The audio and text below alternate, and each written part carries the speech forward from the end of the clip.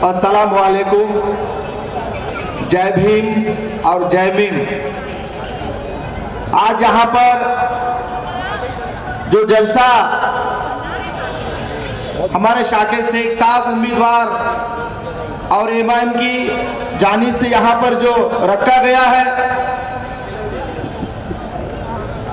शेर का आगमन हो गया है इस मालाड़ में। उससे पहले मैं कुछ दो अल्फाज आपसे कहना चाहूँगा।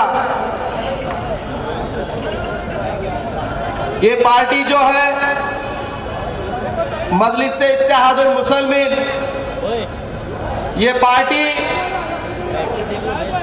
मुसलमानों की नहीं, बल्कि दलित और ओबीसी की भी पार्टी है। बंबई से कुरला विधानसभा चुनाव से मैं वहाँ से उम्मीदवार था। और वहाँ के मुसलमानों ने मेरे जैसे एक मजदूर के बेटे को, गरीब के बेटे को अट्ठाईस हज़ार वोट मुसलमानों ने, दलितों ने दे दिए। उसी तरह से यहाँ पर भी दलित और मुसलमान को एक जगह पर आकर अपने इतिहाद को मज़बूत करना है। एक बैरिस्टर भारत रत्न डॉक्टर भीमराव बाबा साहेब अंबेडकर, जिन्होंने इस देश का संविधान लिखा। और दूसरा बैरिस्टर बैरिस्टर असदुद्दीन ओवैसी, जो इस देश के संविधान को बचाने के लिए अपनी सारी खुशियाँ कुर्बान करके पूरे देश में जाकर मुसलमान और दलितों को जगा रहा है।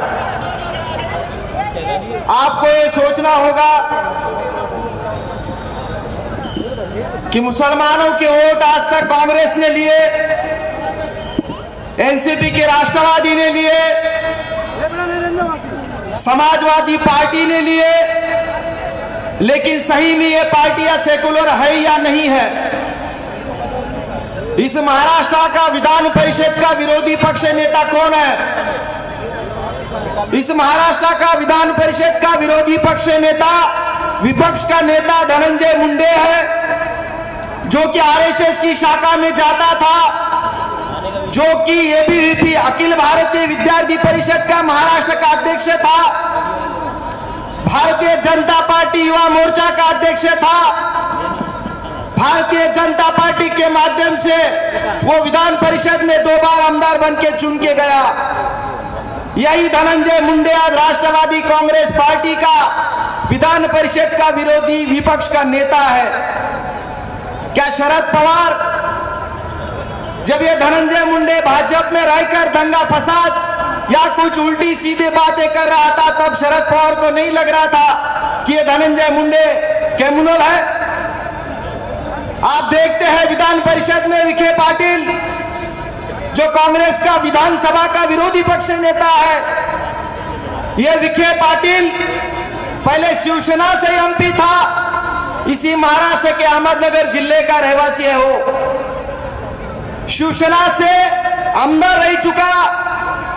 शिवसेना से ये मिनिस्टर रह चुका विखे पाटिल।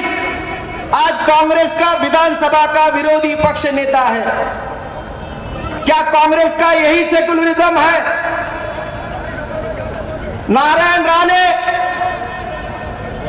जो बाल ठाकरे के इशारों पर बम्बई में काम करता था, या बम्बई में दलितों का रमाबाई नगर में जो हत्याकांड हुआ था, दलितों को गोलियों से भूनकर 500 लोगों को 500 से ज़्यादा लोगों को इस बंबई में मौत के घाट उतारा था जब नारायण राणे शिवसेना में था। आज वो नारायण राणे कांग्रेस का लीडर है। सेकुलरिज्म है।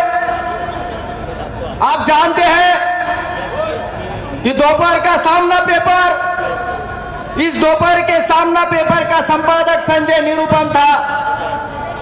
ये संजय निरुपम आज कहाँ पर है? ये संजय निरुपम आज कांग्रेस का बंबई का अध्यक्ष बन के बैठा है। अगर वो कांग्रेस में आकर शिवसेना से ट्रेनिंग लेकर आया हुआ ये धनंजय। ये संजय निरुपम, ये नारायण राणे और ये धनंजय मुंडे अगर आरएसएस से ट्रेनिंग लेकर आकर कांग्रेस और एनसीपी के लीडर बन जाते हैं तो क्या हम एनसीपी या कांग्रेस को वोट देने की सोचेंगे? आप जानते होंगे किस बंबई में 50 साल से हम किसी को भी वोट दे रहे हैं। समाजवादी को भी वोट दिया।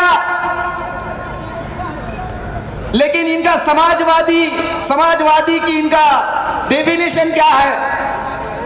इनका नारायण राणे शिवसेना में रहकर मुसलमानों को लांडिया बोलता था। उसी नारायण राणे के प्रचार का जिम्मा उठाया था इस समाजवादी पार्टी के अबू असीम आजमी ने। कल उद्धव ठाकरे ने पुलिसों को कहा